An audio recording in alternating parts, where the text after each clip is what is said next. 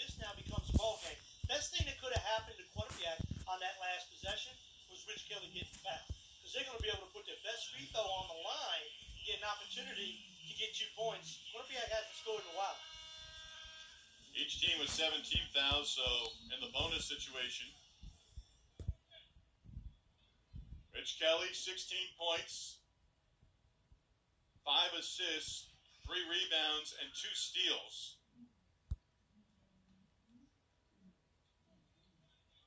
Has one more. Came into the game needing 101 points to reach 1,000 for his career, now within striking distance over the next handful of games. Ings, first action of the second half. Three from the corner, no. Marfo had it in his hands. It was batted away, and Kelly in the front court. Yeah, really good job with a team rebound that time by Kelly.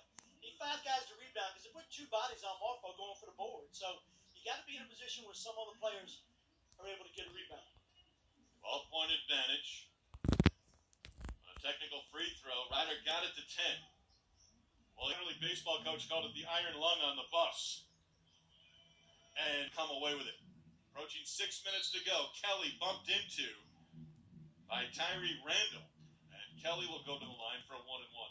And this is where something that uh, all of college basketball, and now you're talking about Quinnipiac up 10 with six minutes to go. How are you going to play offense? That becomes a big question mark throughout college basketball. Like, do you protect the lead? Do you continue to play carefree? Eh, eh, do you, do you become careful with the ball? And I think it's a big question throughout all of basketball. And it has a lot to do with how the kids are brought up playing basketball with AAU. There's not a lot of that high school coaching where there's great mentors, where you teach it time and score with these kids coming in. Kelly, a rare miss at the free throw line. Late violation by Rando, so Kelly will have another chance with the front end of a one and one. That's a terrible rule, lane violation. You should just get rid of it. It doesn't have anything to do with the game. Somehow change the rule. But You don't think they get an advantage if they're getting in just a second earlier? a tenth of a second, no. A second, I give you yes if it's blatant.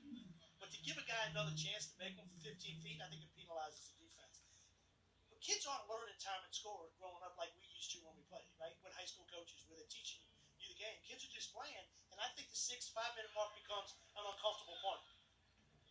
65 53. Kelly, now 20 for the game. Another 20 point performance, his fifth of the season. Scott against McGuire.